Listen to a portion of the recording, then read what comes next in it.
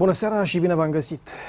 Cu toții știm că cel mai cunoscut simbol al dacilor este draconul, binecunoscutul lup cu trup de șarpe. În cultura dacilor, Lupul avea o valoare totemică, simbolul lui uh, fiind uh, folosit atât uh, pentru a marca anumite obiecte din viața de zi cu zi, cât și, așa cum știm cu toții foarte bine, pentru a fi folosit în luptă ca și standard, ca un fel de armă care trebuia să provoace teama dușmanilor.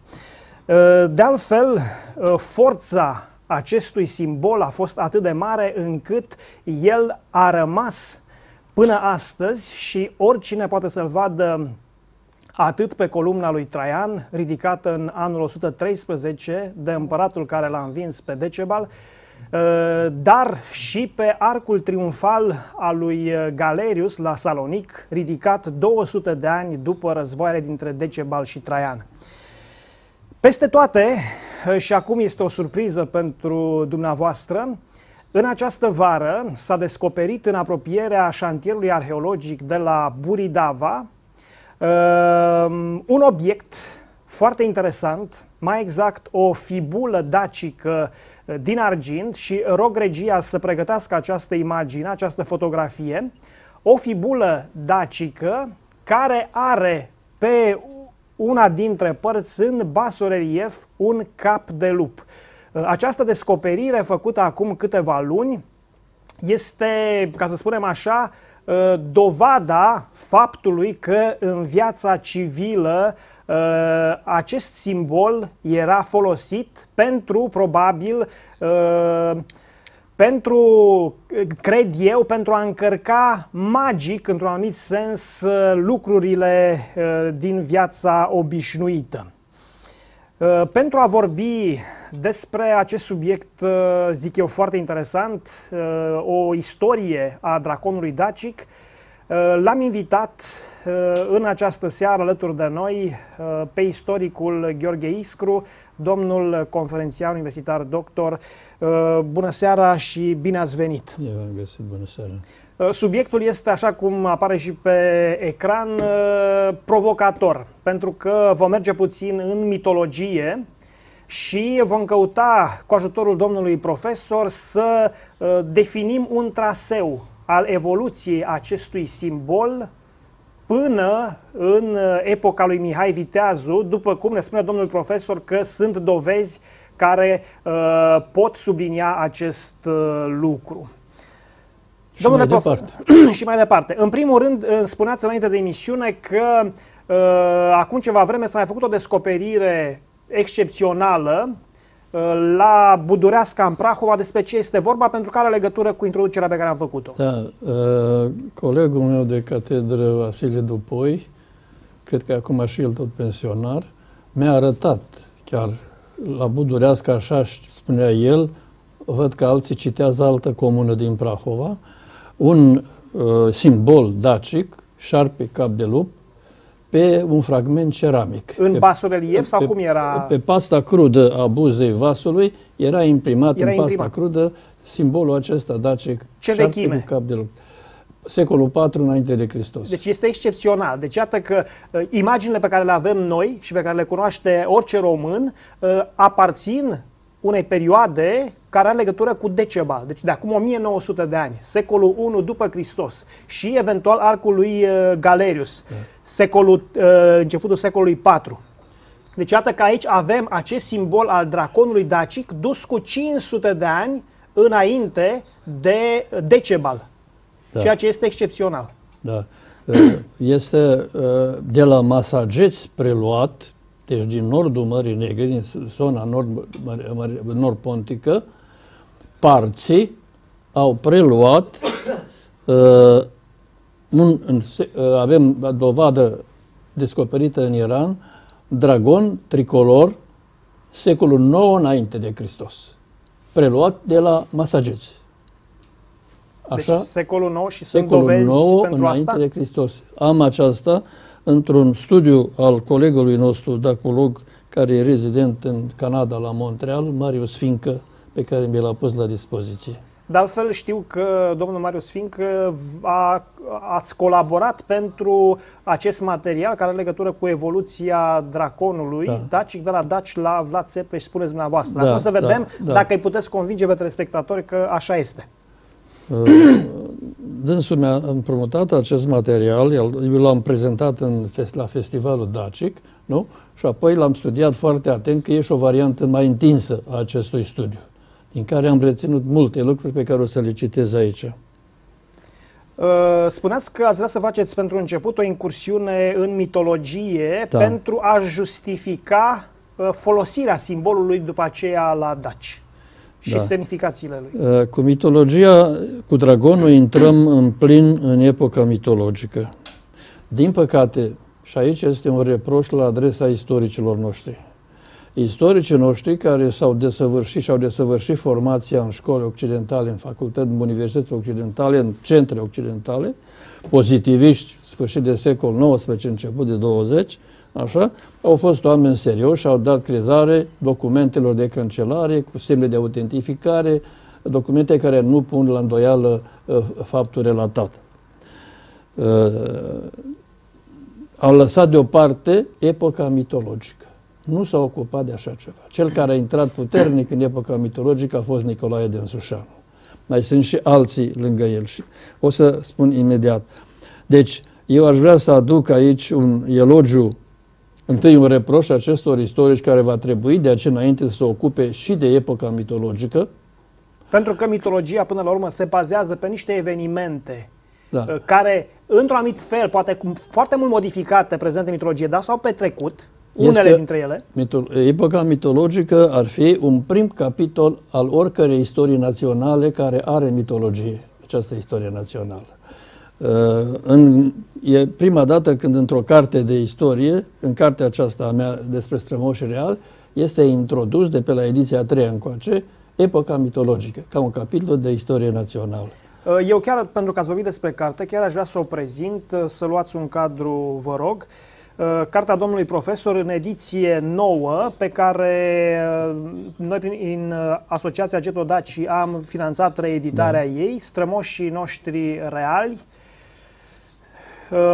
o carte în care este sintetizată munca de o viață pe această direcție a cercetării dacologiei, o carte care poate fi găsită de cei care o doresc pe site-ul www.dacia-art.ro Deci pe daciaart.ro cartea poate fi găsită uh, dacă doriți să o aveți.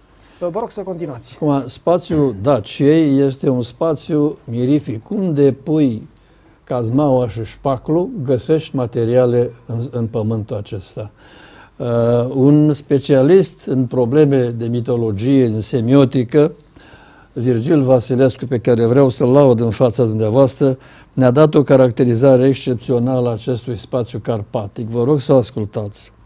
Spațiul carpatic a fost țara țărilor ce urmau să plămădească România a fost nucleul alcătuitor al Europei vechi, leagănul civilizațiilor din tâi și impuls inițial în anii facerii lumii.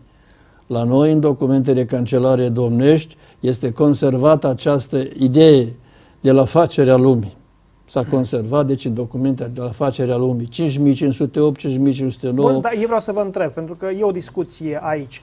Uh, când în aceste documente românești medievale se vorbește despre 5.000, 6.000 de ani de la facerea lumii, uh, se face trimitere la uh, această idee a facerii lumii din tradiția evrească sau este o altă tradiție care este invocată? S-ar putea să fie în legătură cu Revoluția Neolitică, deci după Paleolitic, pentru că atunci a izbucnit într-un fel, clima s-a îmbunătățit, oamenii au început... Nu, altceva vă întreb. Uh, are legătură cu tradiția evreiască legată de facerea lumii, această trimitere a domnitorilor români la nu, facerea lumii? Nu, nu. Nu Asta am vrut să, nu. pentru că uh, e important de stabilit la ce făceau ei trimitere și iată, uh, spuneți... E o corespondență, da... e o corespondență cu acea, după, punând una lângă alta, o corespondență cu această revoluție neolitică, deci de după paleolitic, mezolitic, apoi neolitic. Deci probabil că aveau niște repere care veneau, ziceți dumneavoastră, dintr-o astfel de perioadă și la care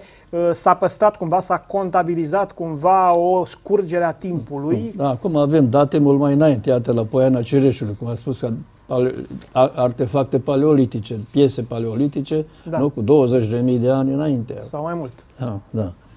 Acum, uh, în legătură cu această uh, epocă a mitologică, uh, istoricii noștri deci au manifestat dezinteres pentru această epocă, păcat pentru treaba aceasta, și au lăsat-o pe seama mitografilor, mitologilor, etnologilor, care și-au făcut datoria, meseria, atât cât puteau ei să facă, pentru că erau mai puțin știutori de istorie și s-au ocupat cu aceste elemente uh, de mitologie. Le-au cercetat, le-au uh, descifrat, le-au descris, dar încadrarea istorică sigur că este deficitară pentru că nu au fost puși la punct cu aceste date de istorie. De aceea un istoric este necesar să intre în această epocă mitologică.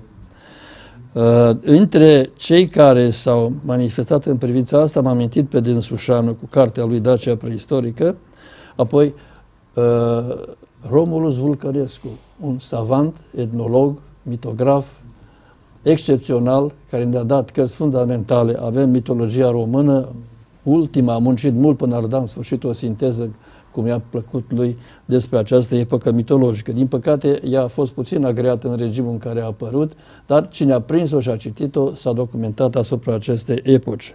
Apoi, un istoric arheolog foarte bun care s-a ocupat de mitologie a fost Iohare Antonescu, profesor la Iași, care pentru prima dată a identificat spațiul de locuire al strămoșilor noștri reali, arienii, în Europa, în spațiul Dacii, spațiu care se va numi ulterior Dacia.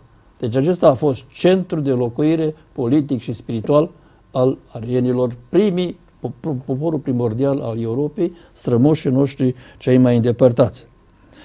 Apoi, Sigur, aici, aici vor spune mulți că aceasta este o teorie protocronistă, că nu. de fapt, că de fapt, dați-mi voie să termin, că de fapt, de exemplu, să luăm cultura cu cuteni, da?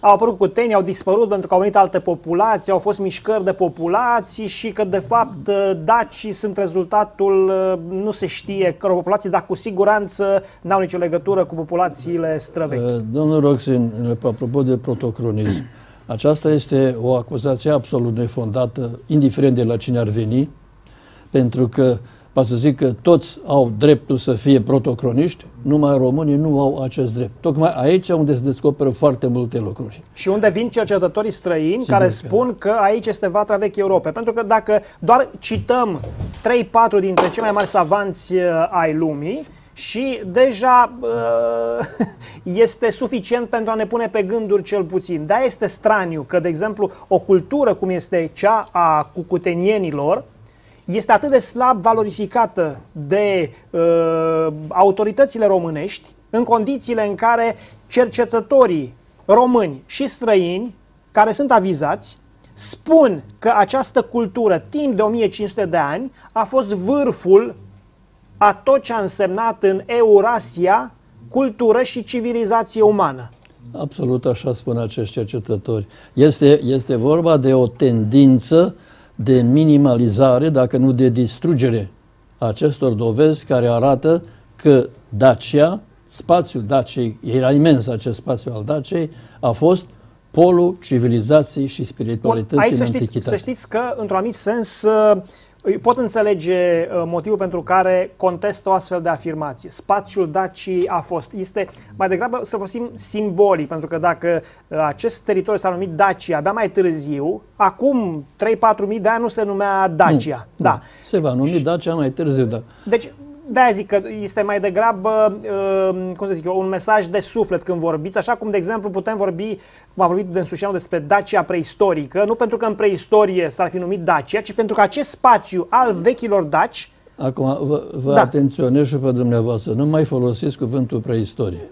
Da, am mai discutat asta. E o, într-adevăr, discutabil acest cuvânt. Nu pentru e că, până la urmă, Societatea umană nu are preistorie. Omul și-a luat în primire istoria de la început, apărând în colectivitate. Bun. Preistoria, sigur, Robinsonada am spus și la festivalul Dacic. Și Cărciumarul a fost foarte de acord, n-a avut nimic împotrivă și arheolog de meserie. Preistoria, societatea umană, a avut istoria ei și nu preistorie. Preistoria a fost pe vremea dinozaurilor. Adică e, e evoluția Pământului cu toată complexitatea lui. Da, da. Uh, dar în ce privește protocronismul, este o acuzație absolut neîntemeiată. Eu aș condamna pe toți acei care vorbesc de uh, greșeala protocronismului la noi. Știu că atunci când a lansat-o uh, profesorul Edgar Papu, a fost o avalanșă de reproșuri la adresa Luceafărului, revista pe care o conducea Ungheanu, de fapt Mihai Ungheanu, de ce anume protocronism. Adică uh, românilor trebuie să le fie rușine, nu e de nasul lor protocronism, nu ei sunt. Da, da, da. Păi, în condițiile în care uh, în foarte multe țări protocronismul este o politică de stat chiar. Păi, da, sigur că da. Dar... În care să dovedească ce important a fost acel popor prin conexiunea cu rădăcinile cât mai îndepărtate dacă se poate și cât mai uimitoare. V-aș da un exemplu în privința asta. Iată de pildă, un valah, un român până la urmă, Nicolae Tesla îi spunem noi. Sărbii spun Nicola. Nicolae Tesla. Ta, mama româncă, tata, român. tata sârb. El deci tot vlah. În banatul sârbesc.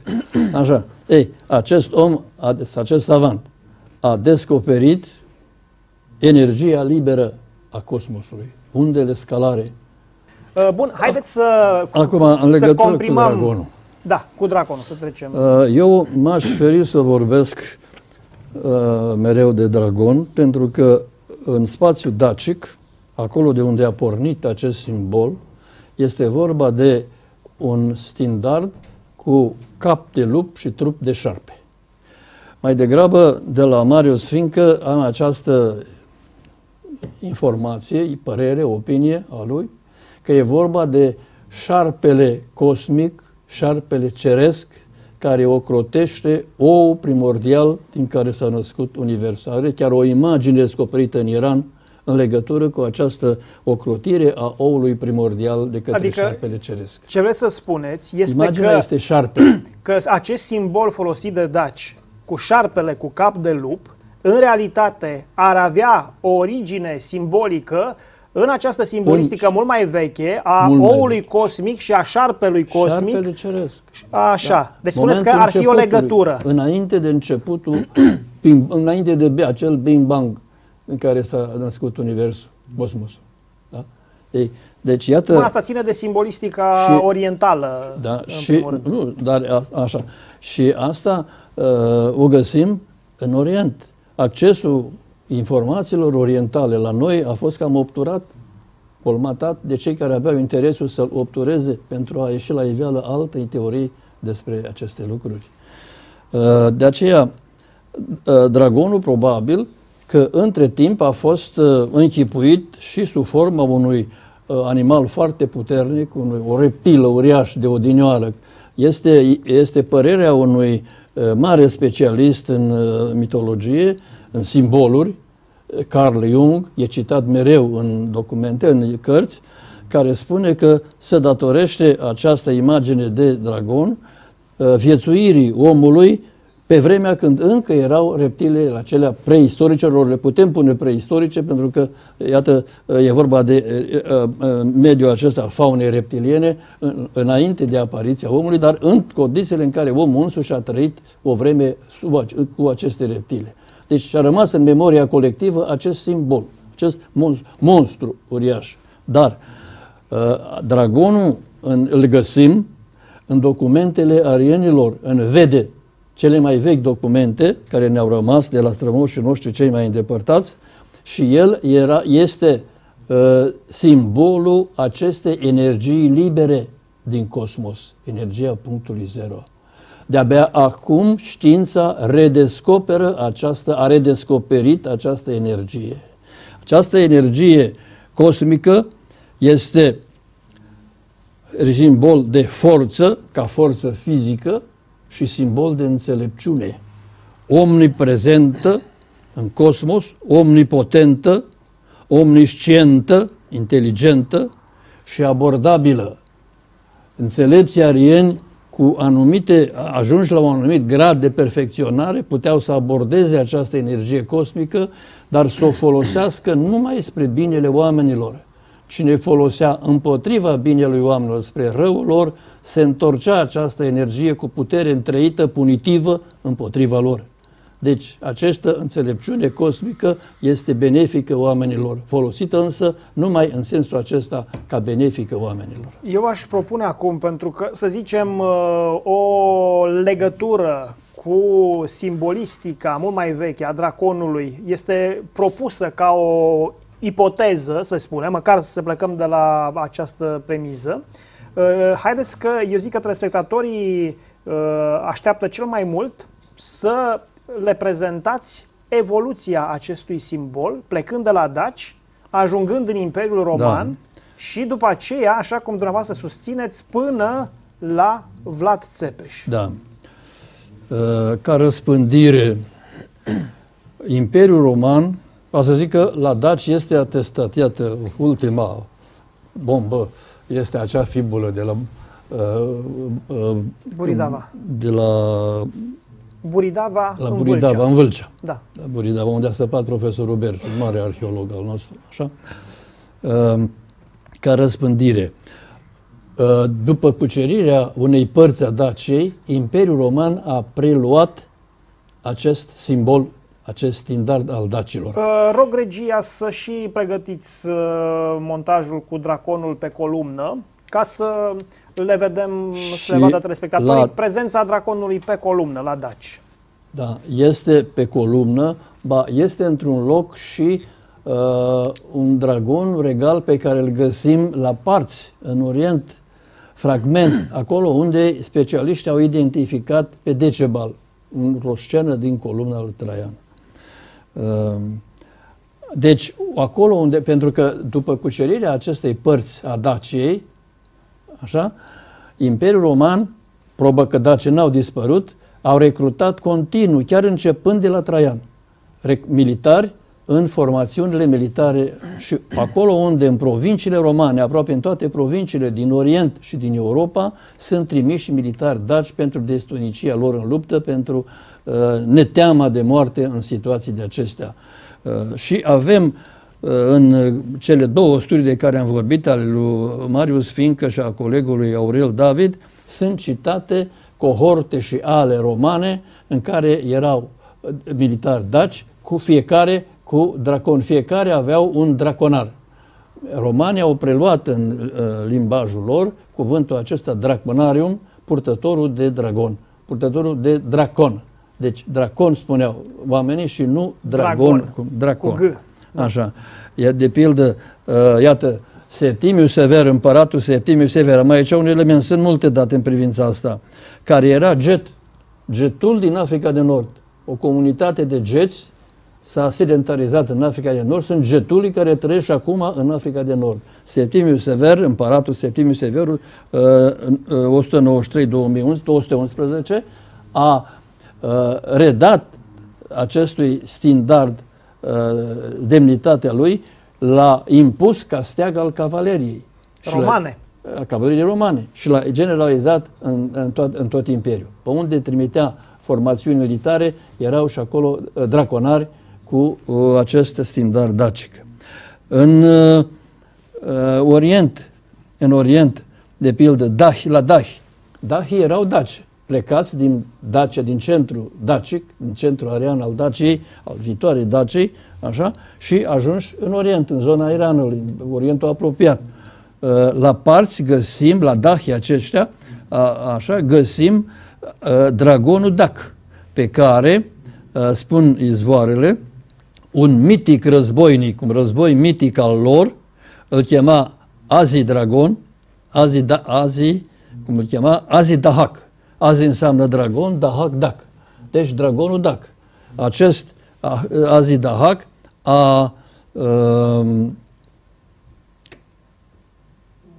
fost un purtător de dragon la parți. În, uh, la acești parți în Orient uh, este un clan războinic nobiliar, surenii. Surenii care aveau un steag de acest gen tricolor. Clanul nobil al surenilor. Tricolor însemnând roșu, galben Ace- și albastru. Ace- roșu, galben, albastru. Ce, ce dovezi avem pentru asta? Poftim? Ce dovezi avem că era roșu, galben și albastru? Sunt dovezile pe care le citează în studiul lui uh, Marius Finca din uh, Iran. La anul 53, de pildă, acest Sureanu, un nobil Sureanu, comandant al unei armate a locului, l-a, a zdrobit armata șapte legiuni ale lui Crasus, comandantului roman Crasus, care a căzut în luptă, i s-a tăiat capul și l-au pedepsit post-mortem, cum a pedepsit regina Tomirius pe Cirus. A tăiat capul și i-a turnat în gură aur topit, ca să-l sature de aur. Deci e o situație de felul acesta și acești oameni aveau steag tricolor. Pe Bine, Acum arcul... cineva poate să spună că dacă ne uităm la steagurile care există astăzi în lume, vom mai descoperi steaguri roșu, galben, albastru, Nu. la țări uh, din uh, nu știu ce colț al uh, lumii care chiar n-au nicio treabă cu și că poate să fie o coincidență. Până la urmă nu sunt o mie de culori, sunt câteva culori de bază, da? roșu, galben, albastru, verde, sunt culorile așa, de și bază. că uh, faptul că l-a folosit cineva, uh, nu știu ce colț al Asiei sau Europei și a folosit tot roșu, galben și albastru, n-ar fi o dovadă obligatorie că ar avea legătură cu dacii.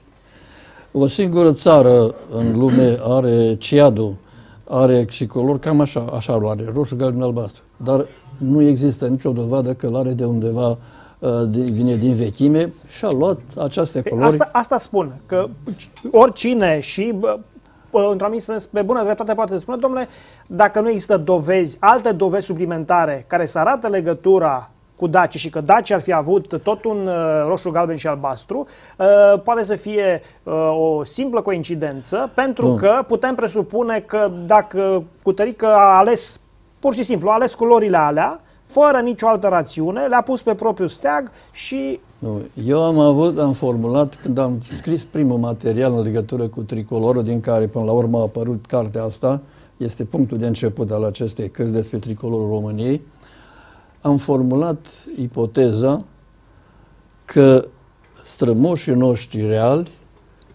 care nu erau lipsiți de înțelepți, Iordan își citează cel puțin trei dintre ei, mai erau și alții, Abaris excepțional, așa, care s-au orientat s- întotdeauna spre esențe. Când apare curcubeul spectru, solar până la urmă, nu? Esența acestui spectru solar sunt cele trei culori.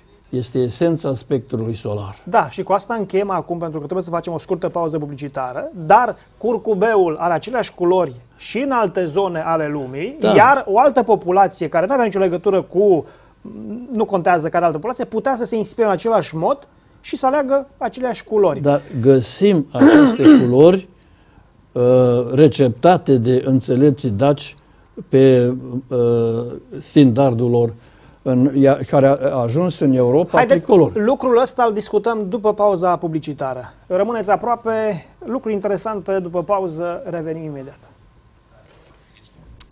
Am revenit. Uh, Una dintre unul dintre cele mai uh, delicate subiecte și cele mai disputate și controversate este uh, teoria potrivit căreia tricolorul, roșu, galben și albastru, ar veni de la daci.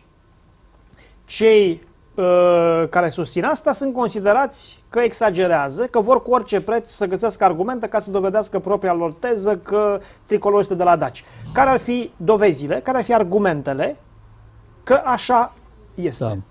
Un exemplu elocvent în privința asta, iată, că am cu prezența uh, acest- acestui simbol în Britania.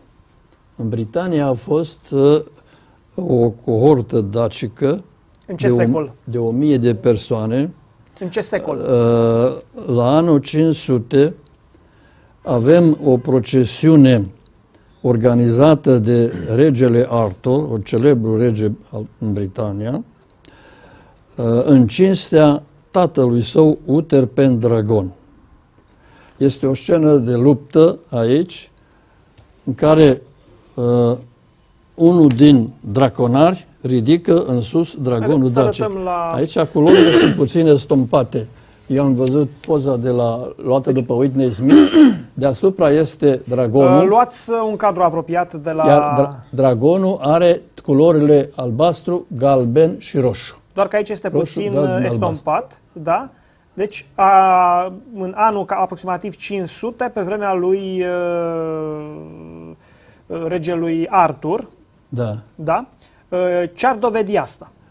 Că Odată clar că draconul a continuat și a ajuns să fie folosit în Britania. A continuat să fie folosit de trupele care erau recrutate de romani în Dacia și trimise în aceste provincii. Mai mult, Artur apare mai târziu într-o lucrare, o ilustrată într-o carte, prin care este ține în mână un dragon, purtător de simbol dacic. Iar dacii au rămas, au fost lăsați la vatră sau împroprietărit în merea cazuri. Și există și astăzi și urme rămas. ale acestei există, unități militare? Există și astăzi urme. Africa. Mai mult decât atâta, reținem un lucru foarte important. Steagul, nu, țara Galilor, deci Welsh, țara Galilor în Anglia, există uh, în țara Galilor, e numele franțuzesc al acestei țări. În uh, engleză se, se spune Welsh, adică valahi. Țarii, uh, uh, galii, sunt considerați valahi sau se consideră valahi. Ei, în steagul țării galilor e, se postrează pe steagul țării galilor dragonul roșu, drag goci. În, la geți este Gog. Gog înseamnă divinitate. Magog este poporul divinității, poporul lui Gog. Da? Avem similitudini. La englezi se zice God, la nemți Gut, la slavi Bog.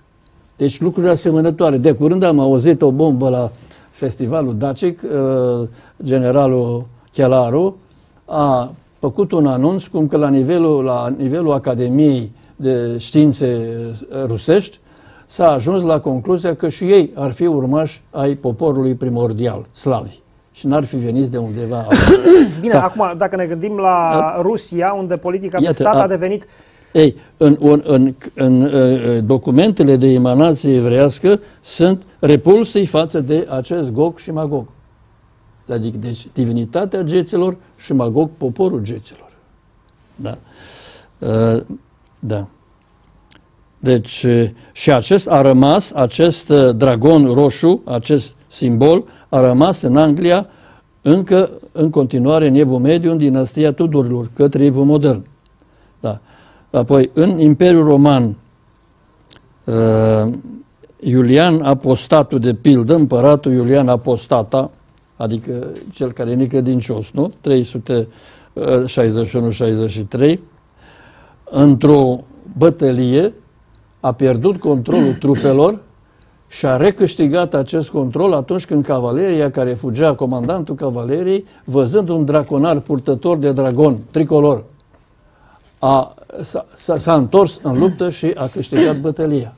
Eu zic să nu uităm pe împăratul Galerius, pe care l-am amintit la început, să nu uităm pe împăratul Galerius, da. pentru că avem la Salonic acest arc triumfal. Vă rog, regia, să pregătiți Acum, draconul pe arcul lui Galerius. Galeriu. Nu e numai așa. Uh, draconul a fost uh, imortalizat pe arcurile de triumf ale împăraților care se revendicau din geți și din daci. Deci, iată, l-avem aici și se poate vedea la de, de pe de, arcul lui Galerius. De la Salonic. Da. Din păcate, grecii nu l-au îngrijit și acum e într-o stare destul de grea. Dar odinioară, când el a fost fotografiat, se vedeau bine aceste scene cu uh, acest simbol șarpe cu cap de lup. Da. Așa. Apoi, pe arcul Constantin de la Roma, pe lângă dacii puși deasupra, pe frontispiciu, patru statui de daci de mărime naturală. Opt. Patru pe o parte, patru, patru pe parte, alta. Deci vegheau și ieșirea și intrarea din Roma, în acest steag. Așa. Și Amianus Marcelinus descrie cum l-au primit în Roma uh, pe împăratul Constantin când cum? a intrat victorios cu o procesiune uh, de, de, uh, așa, punând în funcțiune sunt dragonii, o, un marș, o șarjă de cavalerie prin care dragonii scoteau... Și îmi amintesc acest citat care spunea că s-au adunat cu toții în jurul draconul, draconilor care străluceau în uh, lumina soarelui. Asta spune Amianus Marcelinus, da. de un autor. Și avem o descriere a acestui, acestei scene, a folosirii draconilor, la Arian Flavian, ofițer roman ajuns guvernator al Capadociei. Iată ce spune acest ofițer roman care a fost guvernatorul Capadociei, deci ofițer roman al Capadociei. Călăreții romani, cam ce găsim și la Amianus Marcelinus. Călăreții romani înaintează având diferite insigne, nu numai romane, dar și scitice. Sciții erau geți. Pentru ca incursiunile lor să aibă înfățișări mai variate și total să fie mai înfricoșătoare. Insignele scitice, adică getice, le alcătuiesc niște balauri de mărime proporțională cu aceea a prăjinilor de care sunt legați.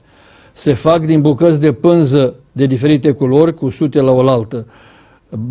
Balaurii aceștia au capul întreg, capul și întreg trupul până la coadă ca al șerpilor, spune. Deci și cap de șarpe și cap, nu mai e cap de lup aici. Vicleșugurile acestea au fost născocite pentru ca balaurii să apară cât mai înspăimântători. Când caii stau pe loc, nu se poate vedea nimic, mai mult decât bucăți de pânză de diferite culori care atârnă în jos. Când însă caii pornesc, acești balauri se umflă din pricina uh, uh, aerului, semănând grozav cu fiarele și șuierând din pricina mișcării puternice, deoarece aerul îi străbate cu putere. Aceste insigne nu numai că le fac plăcere ochilor, dar folosesc chiar pentru a fi deosebiți de cei care dau năvală și pentru ca rândurile călăreților să nu se împrăștie. Iată o relatare a unui militar, ofițer, guvernator al Capadociei despre această uh, uh, mișcare a draconare. draconarilor. Bun, haideți să mergem mai departe în timp, să vedem... Uh, la Imperiul Roman, aș da o uh, o mărturie foarte importantă, să o găsesc, așa. În legătură cu ce? În legătură cu uh, frații noștri din Balcani. Haideți, până când găsiți aia, haideți să mergem mai departe da. în timp, să vedem unde a mai ajuns draconul și când a ajuns la uh, Vlad Țepeș și în ce condiții. Da, va ajunge și la Vlad Țepeș. Lăsați Așa, că așa, am găsit, găsit aici. Stați puțin că am găsit aici o treabă cu balcanicii noștri. În timpul răscoalei antibizantine, 1185, condusă de Asan Petru și Caloian, așa, uh, Niceta Coniatis ne dă, a, Asan ne dă informația, izvorul, că Asan vorea să facă o unitate, o uniune din Dacia sud-dunăreană și Dacia nord între Balcan și Carpați. Și Balcan, o numea, Carpați, o numea Dacia atunci? Și Dacia. Așa o numea, în da, secolul o, XII. O, o unitate a, a acestei Daci. Și dă Amian ăsta, uh, Nicetas Coniatis, dă uh, cuvântul lui Asan în fața trupei. Într-o scenă militară, deci. Priviți aceste flamuri, spune el. E reproducerea după Nicetas Coniatis. Uh, diferite la culoare, dar nu și prin felul țesăturii care atârnă în vârful suliței mele și flutură în vânt. Ele au fost făcute dintr-o singură materie și un singur țesător le-a țesut. Dar deoarece se deosebesc prin culori, nu spune ce culori. Ele parcă au și o cauză diferită. Nu, nu este așa. Nu așa stau lucrurile. Deci ele formează un tot, deci o unitate. Deci asta vrea să imprime uh, Asan ostașilor lui. Uh, și un, parțial a reușit să facă lucrul ăsta. Pe urmă, însă, nostalgic s-au bulgarizat acest stat care a început ca stat bulgaro-valah. Uh, ce s-a întâmplat mai târziu? Domnule, este o dramă, dacă vreți, a acestui dragon pe care a suportat-o și pe care noi nu o putem dezvolta acum din motive de aici așa de autocenzură. Sunt probleme care ar putea deranja foarte multă lume în defavoarea noastră. Uh, ce s-a întâmplat cu acest dragon? Um, în 1408, în decembrie 1408, așa, da. Sigismund de Luxemburg, împărat al Sfântului Imperiu Roman de națiune germană, sacralizat cândva de papa, a constituit Ordinul Dragonului. Dar nu e vorba de acest dragon care venea de departe din istorie. E vorba de un nou dragon, care militar, vrea să se, să se substituie militar, simbolului vechi. să se substituie acest dragon vechi, să distrugă acest dragon vechi, să piară imaginea și amintirea acestui dragon vechi. Ordin militar în slujba papei. Papa de la Roma, deci capul Bisericii Romano-Catolice, a dorit să-și instituie suveranitatea universală. Avea și a confecționat și o culoare care era formată din trei, culori, din trei coroane, o, o coroană. Din trei coroane suprapuse, vă amintiți de versul lui Eminescu, papa acolo trei coroane puse una peste alta. O, o coroană marca suveranitatea asupra celor pământene, una asupra celor subpământene și cea de-a treia asupra celor celeste, o suveranitate asupra celor cerești, a cosmosului. Ei, multă vreme s-a purtat la întronizarea papilor și în alte situații solemne s-a renunțat la ea în ultima vreme. Dar n-a renunțat la idee. Cruciadele care s-au, s-au uh, pornit din inițiativă papală au fost pe de o parte sub pretextul reliberării Sfântului Mormânt, dar motivul real era supunerea, aducerea în o stare de obediență a răsăritului schizmatic, inclusiv a Daciei. De aici și politica papală față de Dacia. Misiuni peste misiuni catolice pentru catolicizare, pentru romanizare, pentru a-i convinge... Cu tot felul de șantaje și abuzuri și mai departe. Da. Uh, căutam aici Uh, și ar trebui neapărat să găsesc eu lucrul ăsta. Până găsiți dumneavoastră, o să ah, mai aici, comentez aici găsesc, eu. Da. Deci, practic, ce vreți să spuneți este că Cu acest uh, pap, pap, papalitatea a urmărit prin uh, înființarea acestui nou ordin militar care avea ca simbol un dragon să confiște, să înlocuiască vechiul simbol uh, dacic care a reușit să supraviețuiască în Europa da? și în acest fel să-și subordoneze prin intermediul acestei simbolistici, tot Spațiile ce se putea. Cucerit. Da. Uh, această uh, acțiune, uh, iată ce spune statutul Ordinului. Foarte, uh, mai avem 5 minute da. și trebuie să ajungem la Vlad Țepe și o să pierdem da. Uh, esența. Pe păi tocmai aici ajungem da. aici. A vrut să... Uh, ce spune statutul? că e, e făcut statutul de un episcop catolic, care era da. în slujba lui Sigismund, la curtea lui Sigismund de Luxemburg. Așa.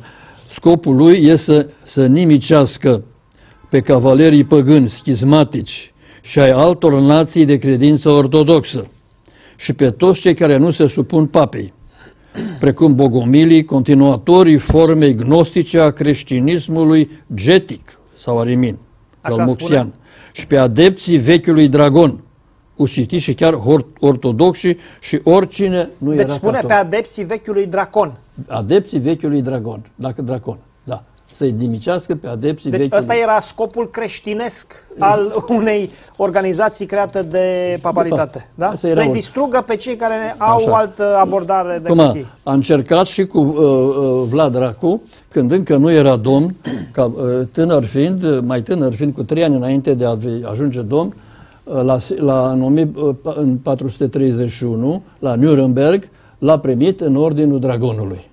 În Ordinul Dragonului. Pe tatălui Vlad pe, pe, tată, pe Vlad Dracu. Așa.